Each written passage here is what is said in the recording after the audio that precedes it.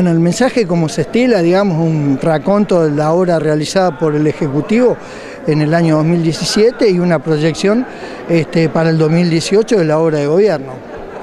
¿Qué es lo que los puntos más altos, los más bajos desde el punto de vista del Partido Justicialista? Porque me imagino, y los veía desde allá, hablar o comentar cosas con Hernán Pacerini, el otro concejal del PJ, a medida que iba diciendo algunas cosas de la Rosa.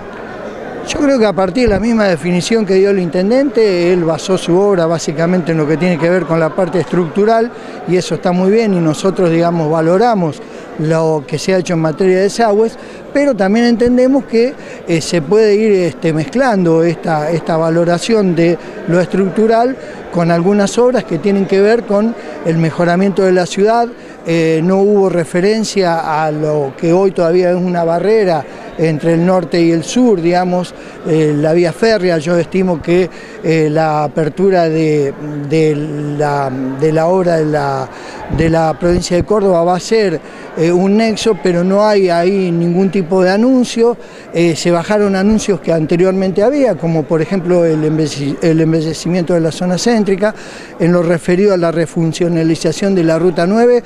creíamos que estábamos más próximos, en realidad hoy quedó claro que solamente es un proyecto y que no hay financiamiento este, para esta obra. Eh, en, lo mismo ocurre con el centro o, con el lago de la Rosa, eran proyectos de hermoseo que se habían anunciado oportunamente y este, vemos que salieron de agenda. Nosotros entendemos y valoramos, repito, que se comience por lo estructural, pero creemos que también eh, con un poquito más de, agudizar el ingenio se puede ir haciendo un mix sobre estas cuestiones. Y básicamente no hay definiciones sobre lo que es eh, o lo que fue el proyecto iniciado de los puentes y ahí nosotros claramente entendemos que es necesario contar con la autorización para continuar este, con la obra, pero en el mismo criterio decimos, bueno, es momento de definiciones, es más de un millón de dólares tirados a la vera de la vía y, bueno, habrá que definir, este, por supuesto cumplimentando los requisitos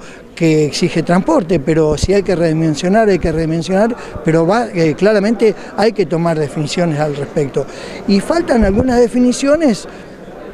este, de cuestiones eh, que, son importantes, cómo está la causa judicial en las cuales nos embarcamos a partir del reclamo eh, sobre los terrenos de Avenida Las Colonias. Eso es, eh, en nuestro criterio, una aventura judicial que puede ser muy perjudicial en el caso de resultar negativa este, para las arcas municipales. ¿Y los aspectos positivos? Porque hasta ahora son todas las negativas y las positivas que encontraste. No, no, es muy positivo haber